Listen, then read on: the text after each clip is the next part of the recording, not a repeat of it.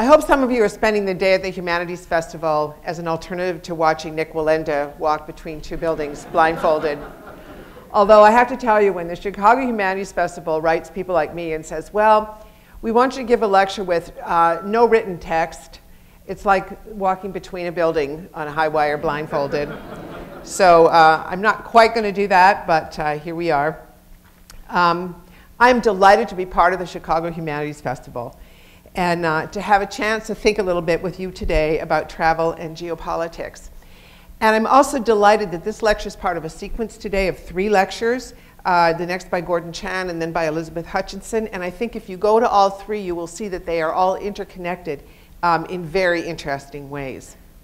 I also think it's really cool that at a conference on journeys, I'm sponsored by an airline, and also my favorite airline. I love Southwest.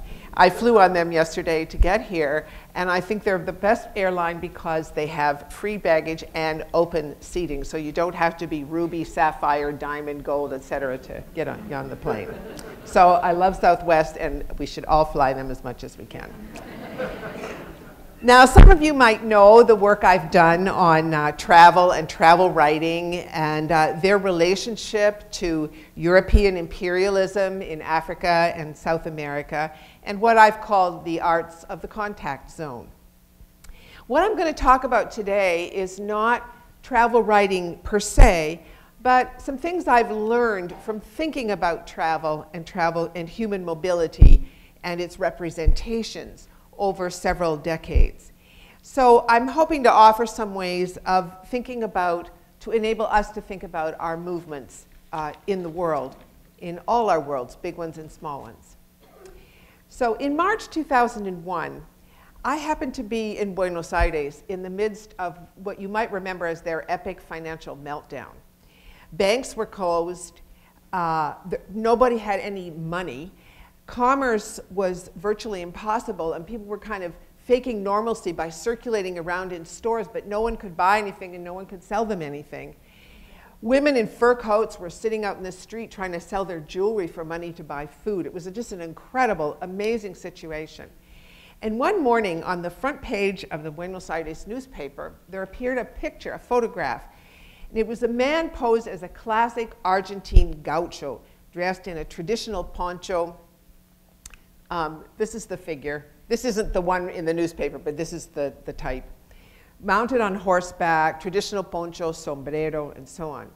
And this man was going to ride around the perimeter of Argentina, and there's Argentina, on horseback, depending for his subsistence, without money, depending for his subsistence on the hospitality of his fellow citizens.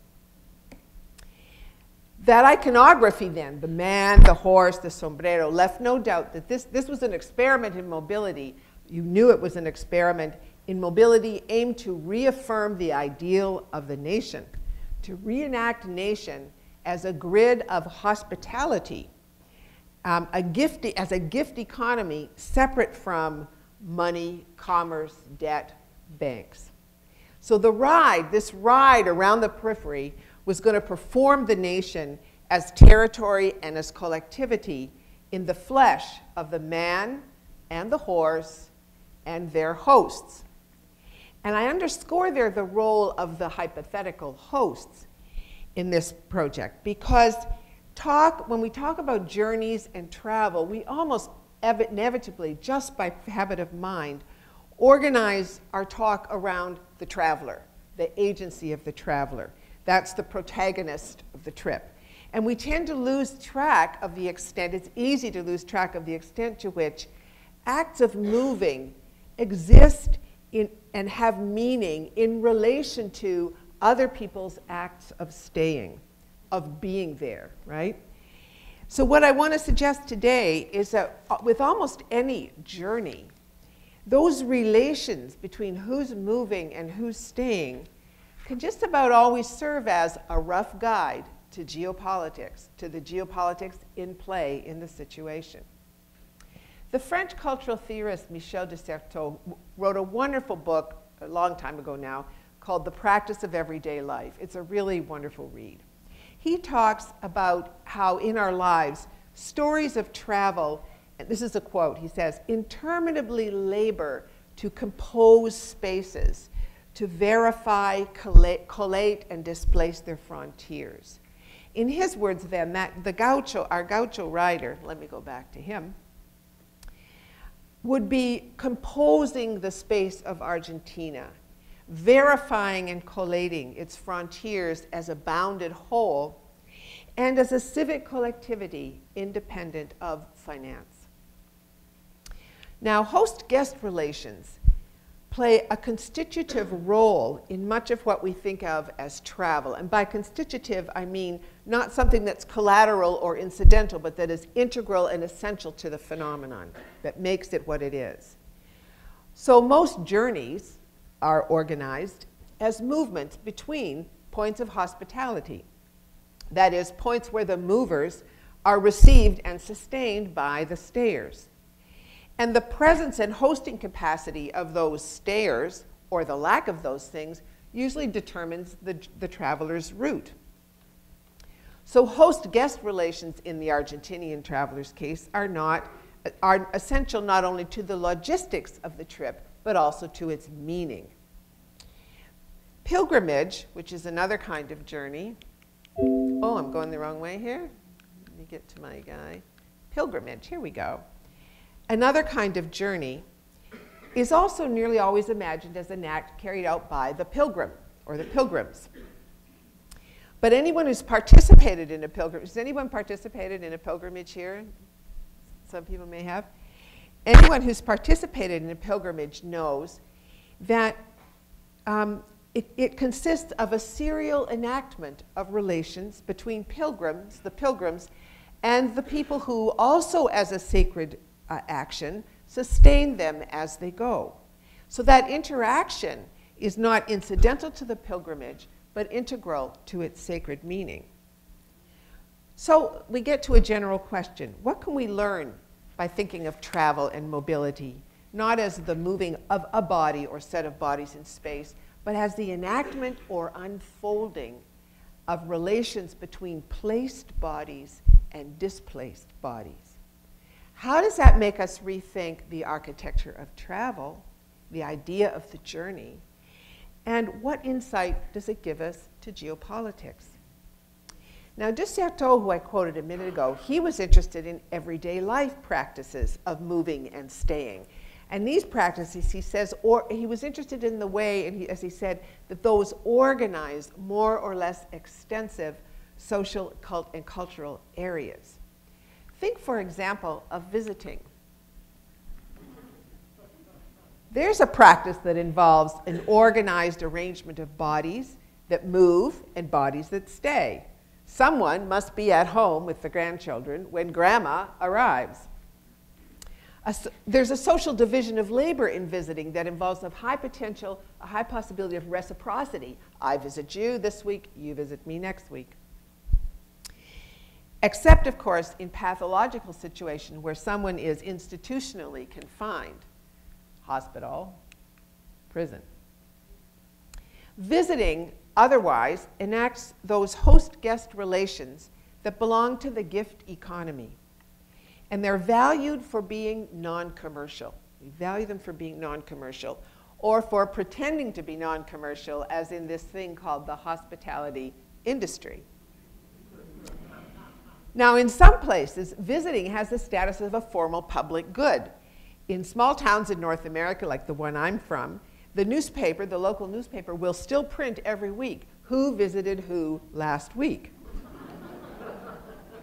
visiting, why? Because visiting performs collective life, and it performs it in kind of a dance of movers and stayers. Now, commerce is organized that way too. Traditional buying and selling also takes the form of people moving and people staying in organized interaction in an organized way. In, in uh, markets, oh, why am I going the wrong way? Sorry. Here we go. So in stores, markets, malls, commerce takes place with vendors who sit with the wares, and the buyers circulate among them examining the goods, enacting their freedom to choose, and, leave it, and they leave carrying their purchases.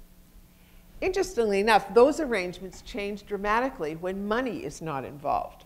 A few years ago, I went to a Saturday market in a small town in Morelos in Mexico.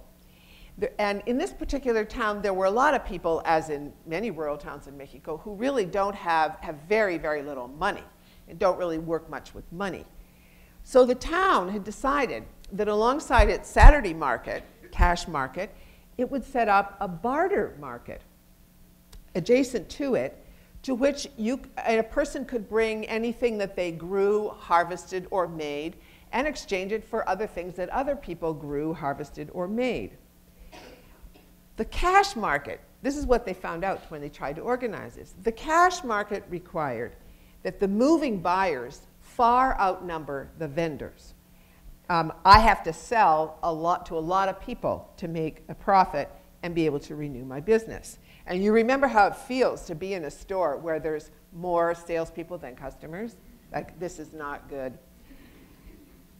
In the barter market, though, in the barter market, you the organizers discovered you had to have an equal number of sitters and walkers to give everyone an equal chance to exchange with everyone else. And that's what made it fair.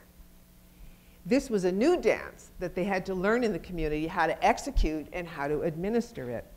And that difference kind of, kind of captures the fundamental difference between reciprocal exchange, barter, and profit oriented cash. And interestingly, in the barter market, the most popular item for exchange was flowers. Now, war is another more or less extensive cultural area that is organized around leaving and staying, right? Warriors go off to fight. Children, women, children, and elders, not women go to now, children stay behind. The warriors make the war. But that framing distorts war by ignoring the war making roles of those of us who stay behind. The people who stay behind have to take over the functions that the departing warrior will no longer be fulfilling, and they have to do extra work or suffer scarcity or pay higher taxes to supply the warriors as they engage in this in the high consumption activity of war making. There are few more high consumption activities than war making.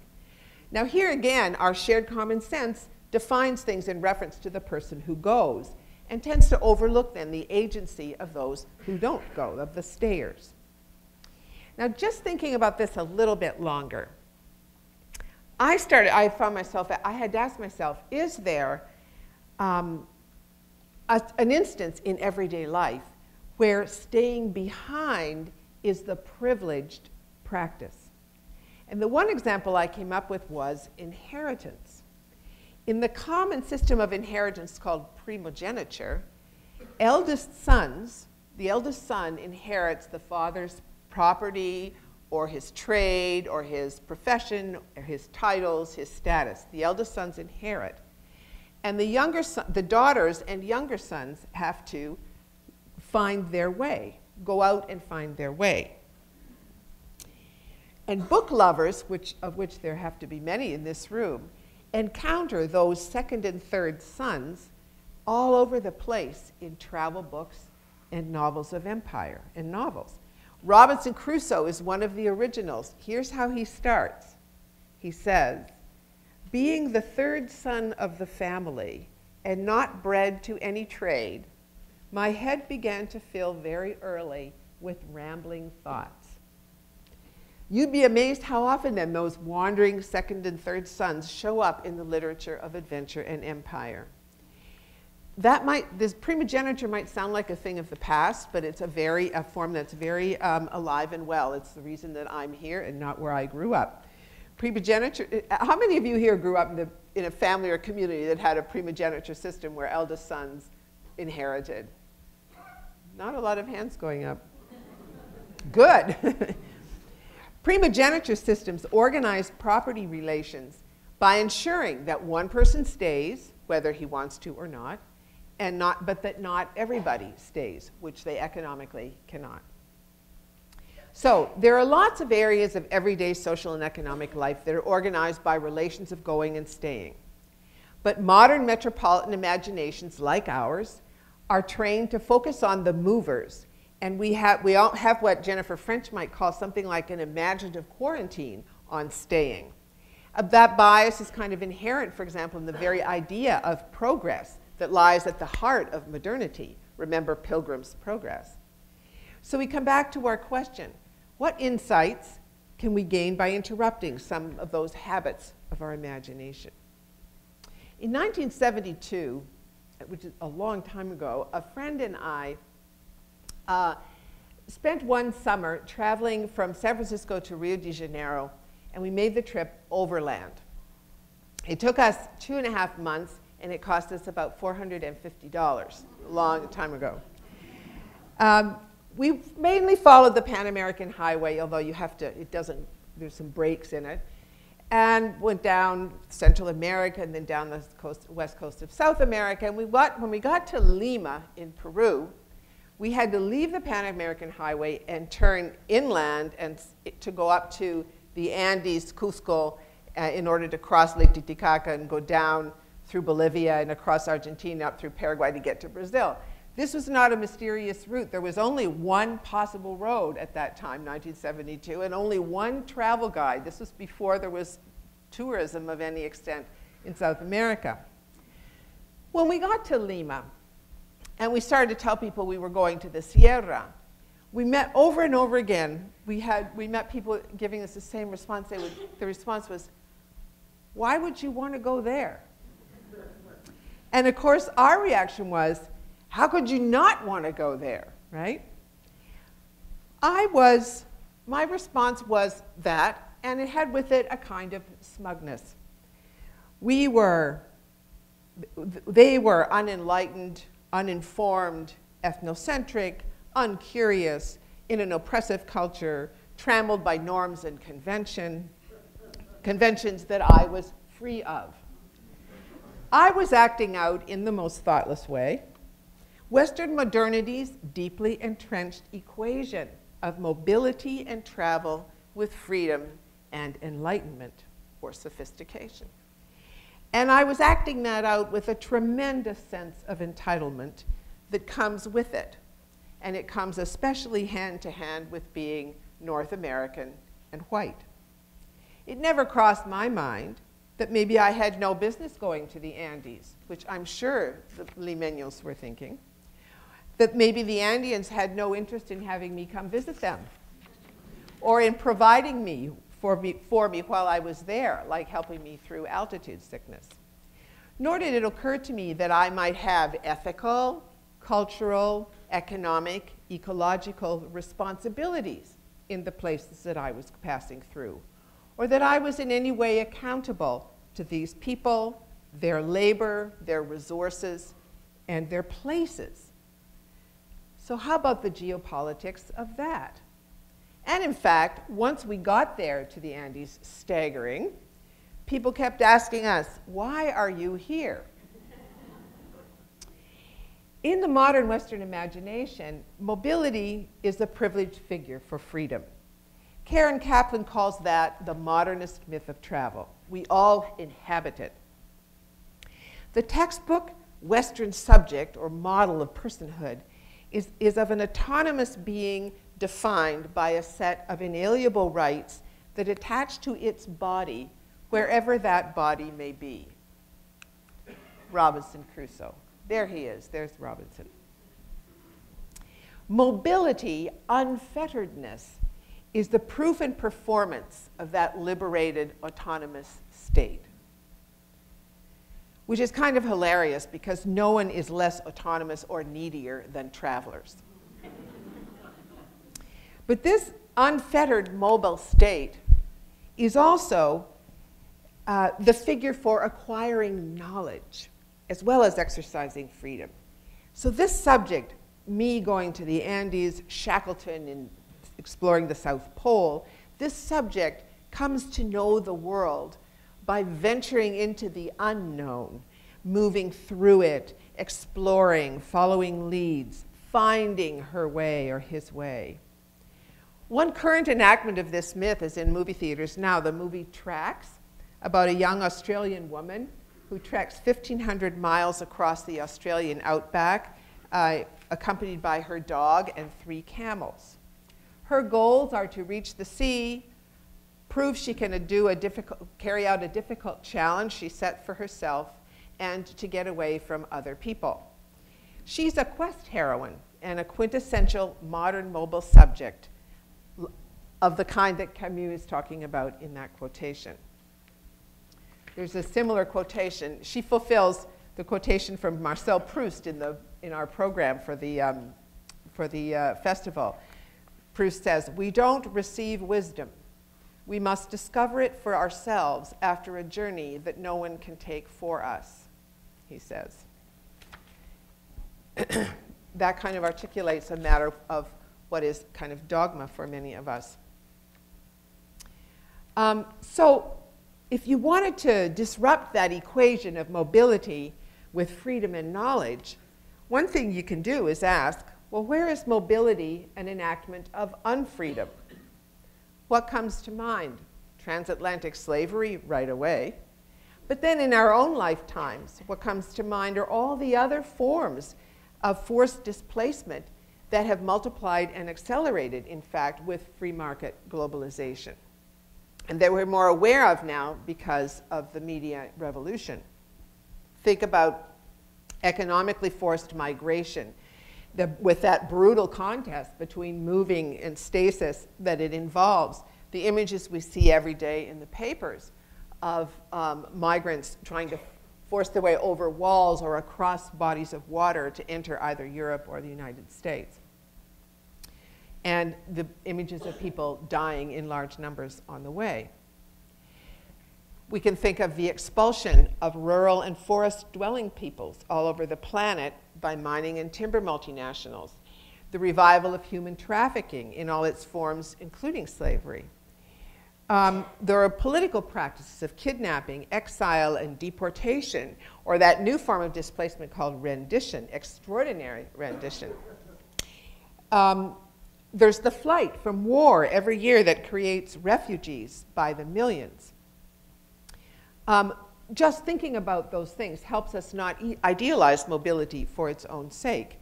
In some places in Latin America, the term desplazado, displaced, is a, is a formal demographic category, um, as it was in Europe after World War II.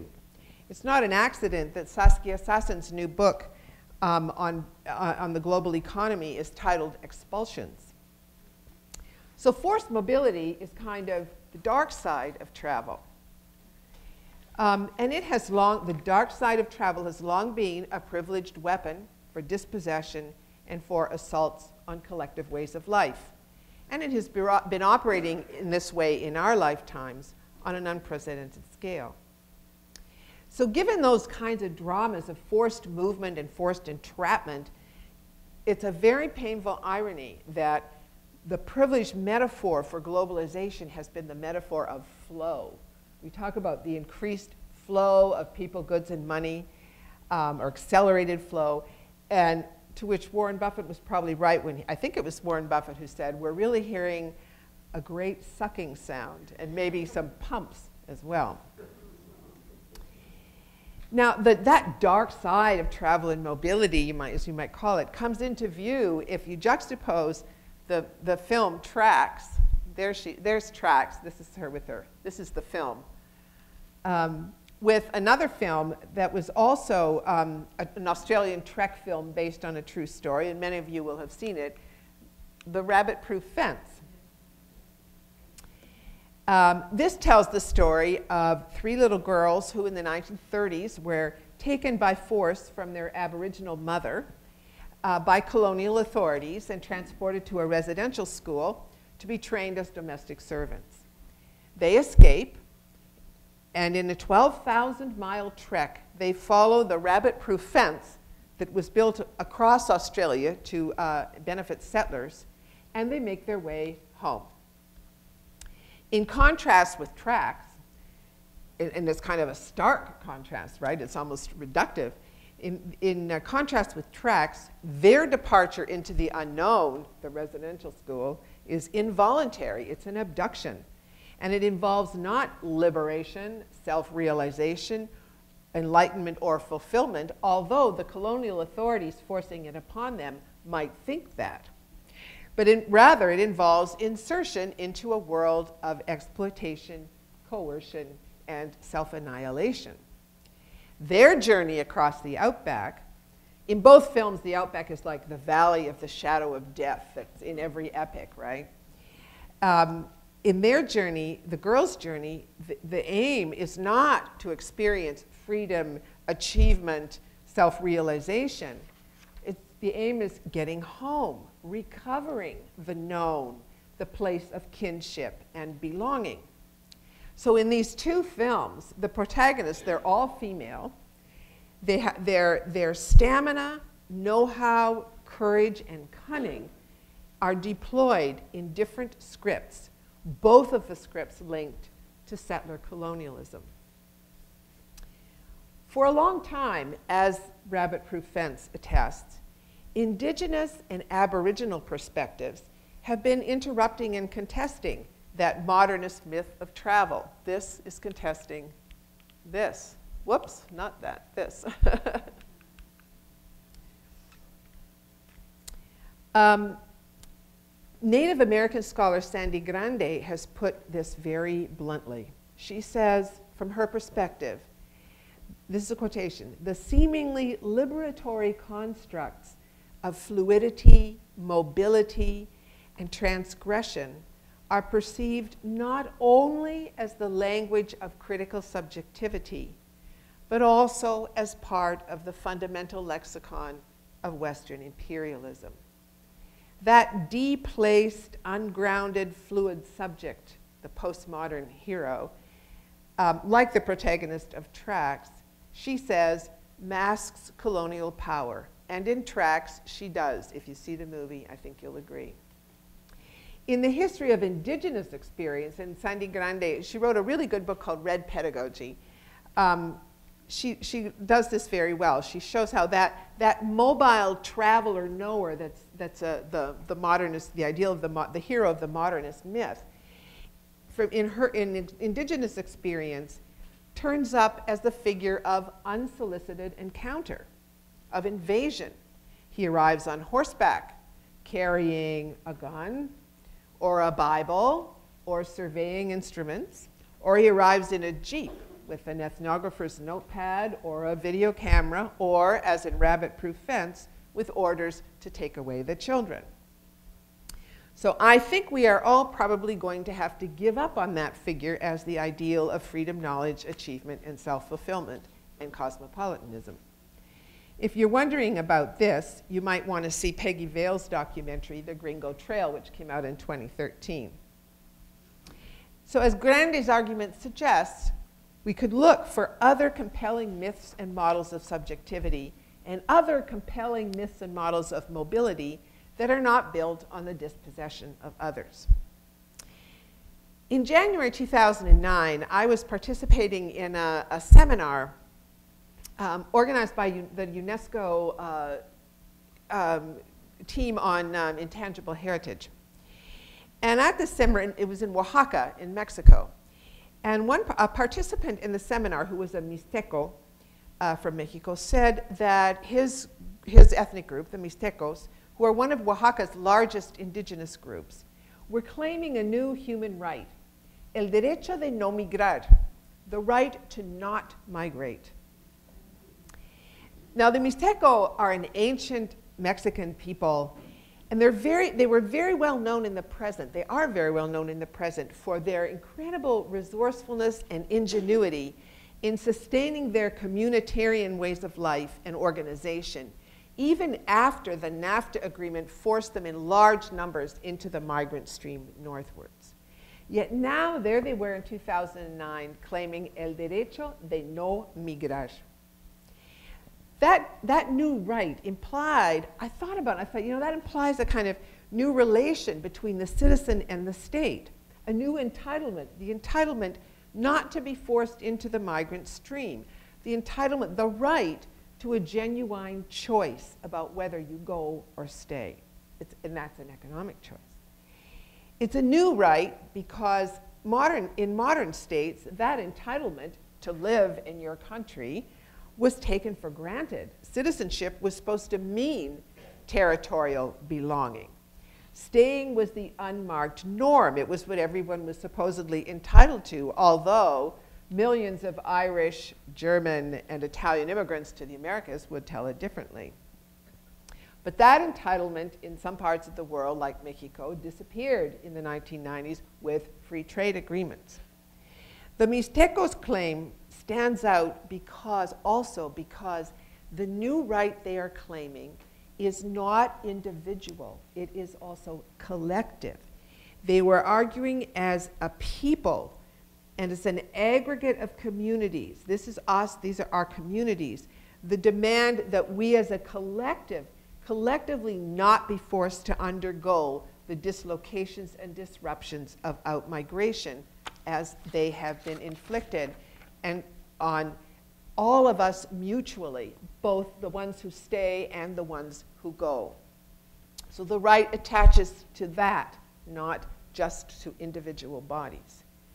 So that collective demand called on the state to recognize migration as a mass imposition, not an individual choice. It also called on the state to recognize its complicity in forced migration and to remedy that. So the, in those ways, el derecho de no migrar raises a challenge to that rights discourse I mentioned earlier that attaches to our individual bodies in a way that is intrinsically unplaced. The Mixteco proposal bears out the observation that many people are making today that in, their indigenous thought and indigenous geopolitics in many coming from many places in the world are proposing differently defined emancipatory projects that are not framed that are framed not by what Grande calls western conceptions of democracy and justice that presume a liberated self, but, as she puts it, by a construct that is also geographically rooted and historically placed. And this is a big challenge to um, metropolitan imaginations. But there is a growing body of contemporary indigenous thought from many parts of the planet that's making an interesting interesting challenges to mobility as the privileged figure for freedom, empowerment, knowledge, and human fulfillment.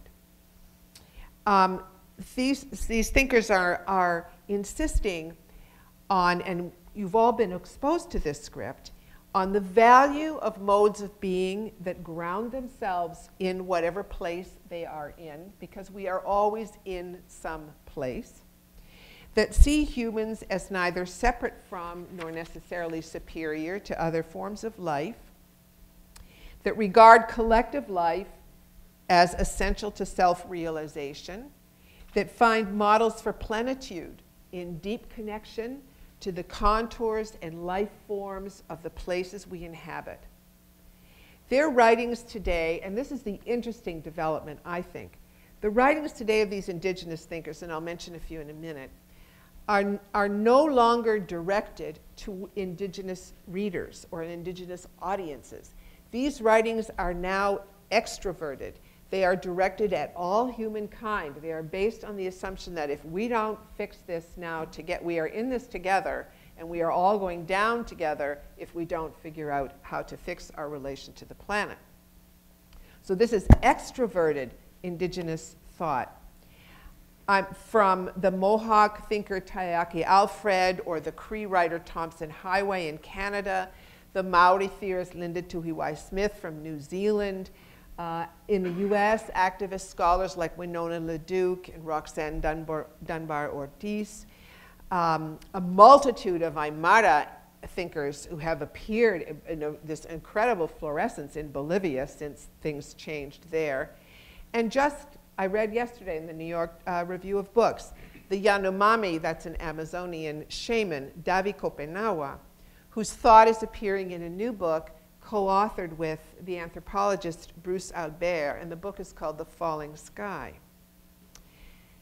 Now, that book began as a series of anguished tape recordings that Kopenawa recorded in Yanomami and, and sent to Albert as his people struggled against a huge invasion of their territory by illegal gold miners by the tens of thousands in Brazil.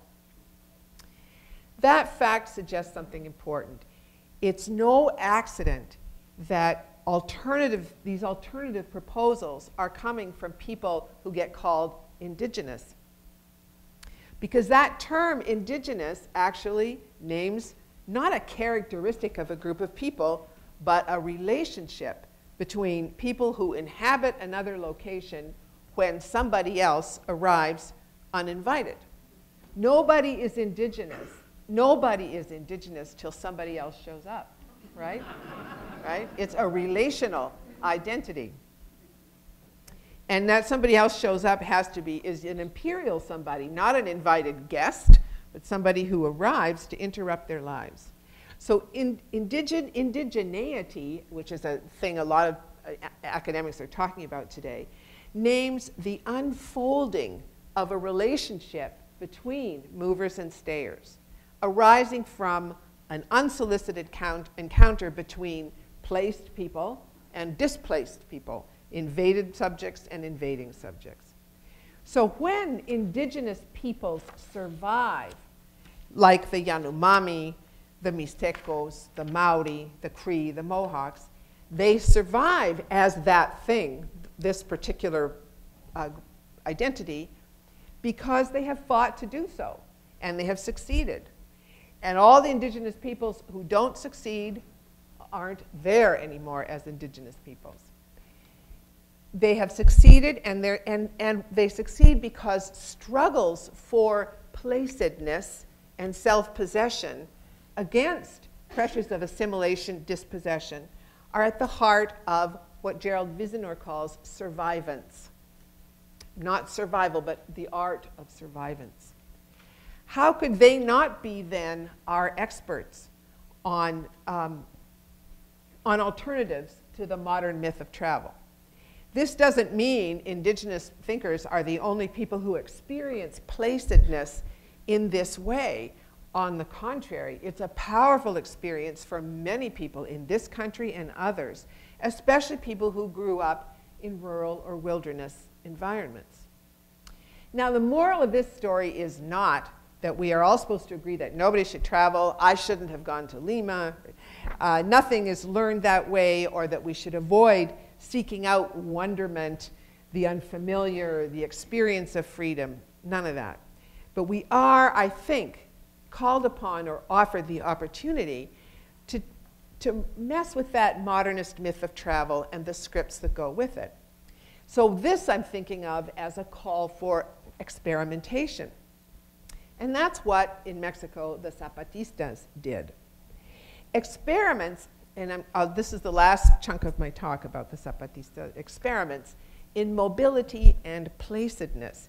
These kinds of experiments have been a hallmark of the Zapatista movement's geopolitics. This is an indigenous-based uh, social movement that began in, in Chiapas in Mexico uh, the day that NAFTA was signed, January 1st, 1994, and continues now. So right from the beginning, January 1st, 1994, the Zapatistas defined themselves in terms of a place. Uh, if you were around then, you'll remember we all listened. Their communiques all came from La Selva Lacandona de Chiapas, the Lacandon jungle of Chiapas. This was not their ancestral home at all. This was a remote place to which they had been driven by hydroelectric and other projects that had taken over their land bases. From this place of anchoring, they deployed an array of experiments in extroversion and geopolitical engagement. Some of you might remember, in 1996, for example, from the Sel La Selva Lacandona, they issued a blanket invitation to the entire world to come to Chiapas and attend a summit on globalization that was held in the summer of 1996. A summit on neoliberalism. So they launched this gigantic planetary act of hospitality and reversing the idea of the unsolicited encounter. They invited everybody who wanted to come to come. Thousands did. A global cast of characters descended on Chiapas. And out of that gathering, according to David Graeber, came the activist, the, the transnational activist network that went on to organize the big anti-globalization demonstration in Seattle in 1999, which many of you will remember. That began at this gathering in Chiapas. And Graeber and others went on then to be the key figures organizing the Occupy movement in 2012. So from the placed, placed and placed, placed and placedness of indigen, the indigenous, the Zapatistas superseded the colonial script of the unsolicited encounter by soliciting encounter and making themselves the agents of contact. But still, they stayed where they were and people had to come to them. Three years later, in the spring of 1999, they took another bold step. Um, at that point, they were really hemmed in and harassed by the Mexican army. And to kind of try to break out of this, they announced in Mexico, and I was living there at the time, they announced a nationwide, we're going to have a consulta ciudadana, a civic citizens consultation. They announced they were going to send delegations of one man and one woman from their members of their popular movement to each of Mexico's 2,500 electoral districts, the municipios, where they would spend a week meeting with anyone who was open to dialogue with them about the conditions they, for their uh, truce with the Mexican government. A call went out, they put out a call to all Mexico saying, okay, in every municipio, each one of these electoral districts, there has to be a host committee who will receive us when we come and raise the money to sustain us. And those committees appeared. It happened. And uh, miraculously, so that in March of 1999, 5,000 indigenous adults, men and women, plus another thousand or so children, traveled they became the ones who traveled. And they made their fellow, their fellow Mexican citizens took on the role of their hosts. The vast majority of these people had never left their home district. Many, mostly the women in particular, spoke no Spanish. Most of their hosts, who were chambers of commerce, students, teachers, unions, community groups, churches, most of their hosts had never listened to an indigenous language or sat across a table in a conversation with an indigenous person. So the consulta produced innumerable first encounters. A few details are noteworthy. In that experiment, the, the, the, the Zapatistas did not construct their journey as from margin to center. They didn't converge on Mexico City. They, they went from everywhere, from somewhere to everywhere. And th thus, like the Argentine writer, they identified the nation as the totality of its geography and its people, not as the capital where the government lives. And by sending male-female pairs, they intercepted the sexual scripts, both of, of colonialism and patriarchal hospitality, in which male visitors arrive and females uh, receive them. So the, there, there's much more that could be said about this, but the Zapatistas kind of rewrote the script and that's, they set about to do that. And um, they, they reorganized the powers of, of moving and staying and arriving and hosting on, in a redefined way. They also, and this is what I'll end with, they also introduced an interesting new metaphor of mobility to describe their work. I'll, I'll say it in Spanish for those who know the language, and then I'll give it in English. El zapatismo, says one of their communiques, no es no existe, solo sirve como sirven los puentes para cruzar de un lado a otro. Por tanto, en el zapatismo caben todos los que quieran cruzar de uno a otro lado. Zapatismo does not exist. It only serves as bridges serve, to cross from one side to another. Therefore, Zapatismo embraces all those who wish to cross from one side to another side. So let me finish with that image of a crossing and a bridge as an invitation for some experiments in new geopolitics and new ecologies of travel. Thank you.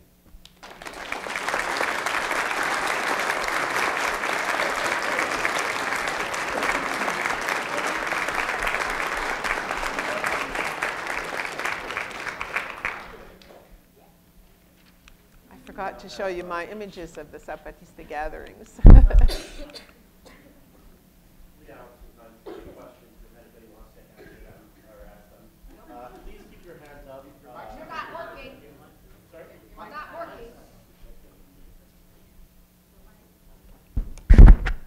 Like this one?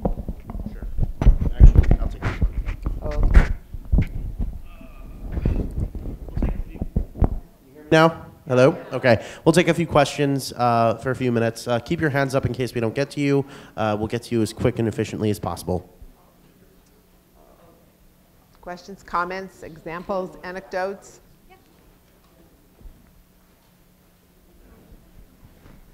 Uh, hello. Uh, is the uh, scourge and the fallacies associated with Ebola going to redefine the purpose of travel and whether from the traveler or from the purpose of the other who's migrating? Oh, what a, what a great uh, topic to raise.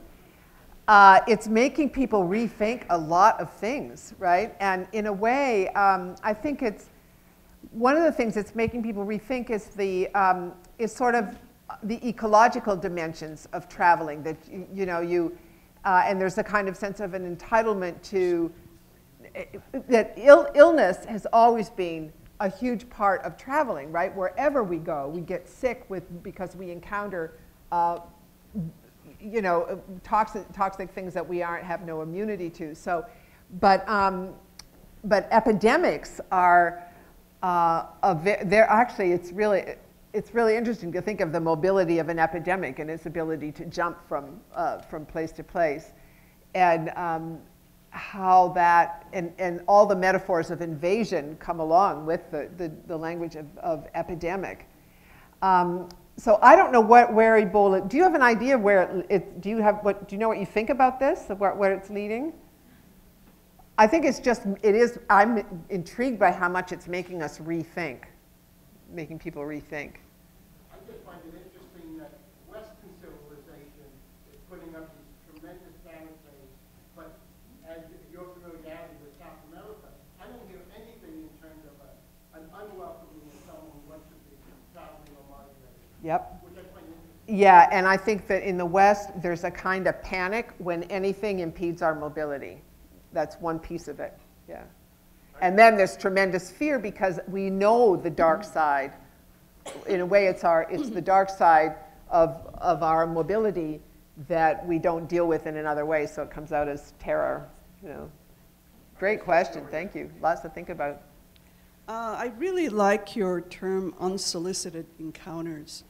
Um, I was thinking about it in terms of uh, what in this country is called illegal immigration, and whether you can talk about unsolicited encounters um, in relation to um, immigration reform in this country.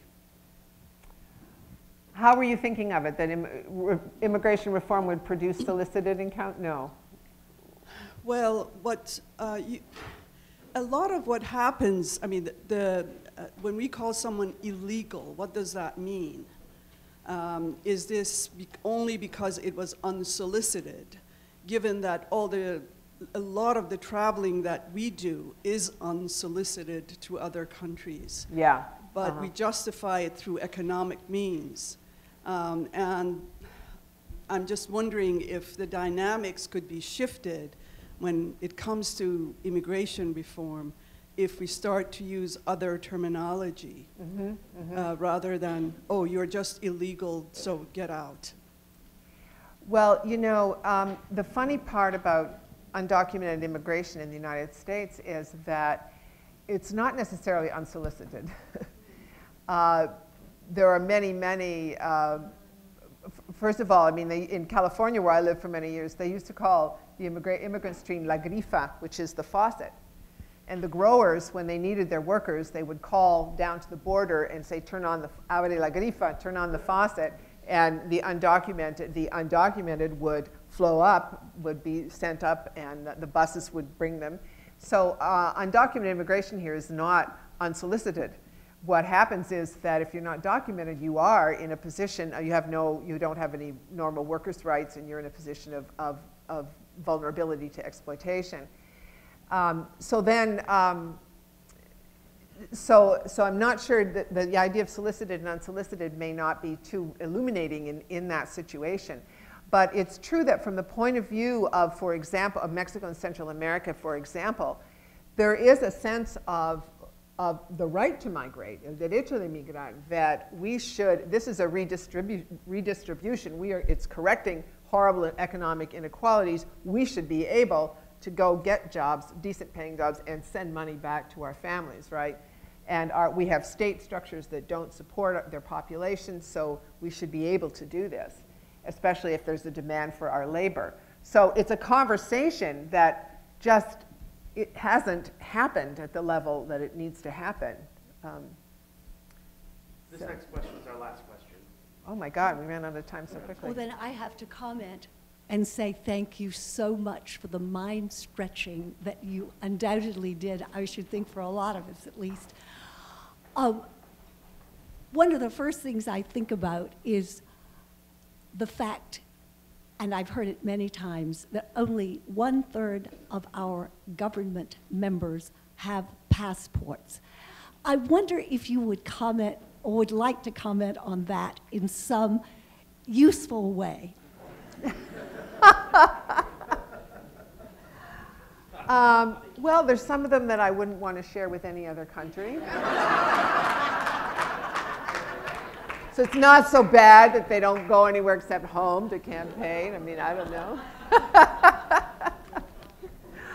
uh, but it, it uh, you know, that's an example where we immediately read that as lack of sophistication, lack of education, and we, we have to be, I think we, we shouldn't assume any of those things, um, but it becomes the, the, the signal we can use for talking about something else, which is indeed a kind of um, uh, lack of curiosity about the rest of the world and the, and the, inability, the difficulty within the United States in the education system of getting access to broad ranges of geographical knowledge. I mean, geography in particular, I, I went to school in Canada where geography, because we were inside the British Empire, geography was the subject, right? Every day your rooms, classes were full of these maps that marked what territories the queen ran and where, you know, where she had, wasn't. And, and uh, so, but in the US, really, that kind of global geog geographical consciousness isn't something that's cultivated. It's much more national. So that produces this kind of, that's one of the things that produces this kind of um, lack that we, that we feel people need. And um, so I'm not, I'm not sure. I have to, I, I've always cited that passport uh, example myself and said, look at that, how ignorant and provincial everybody is. But then I think, you know what? That's inside the myth too. So I'm not, I just have to think about it a little more. Thank you very much. Thank you.